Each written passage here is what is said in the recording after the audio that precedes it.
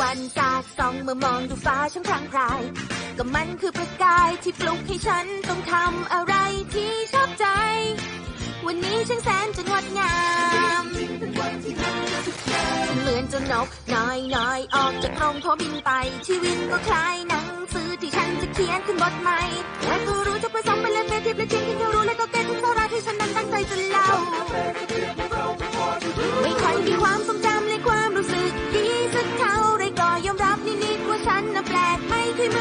ใครแลก็รู้ว่าฉันน่ะกว้างดังดันจะตายมันเรื่อยไป แต่ฉันไม่คิดจะวีนไม่คิดจะวอยเลยให้ตาย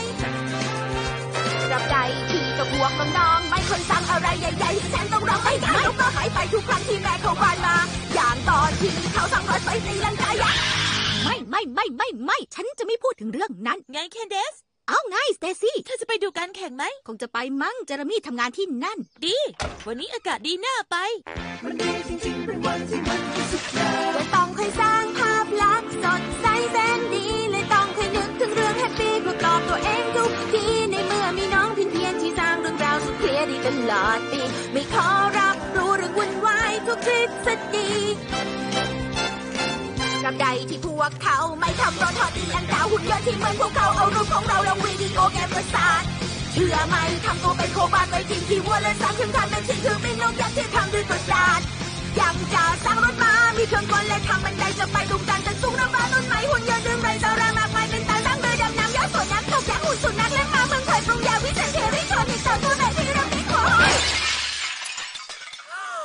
ถึงยังไงไม่กังวลไปกับเสียงที่กวนใจ พวกเขาจะทำเรื่องราวอะไรงี่เง่านักหนาเพียงใด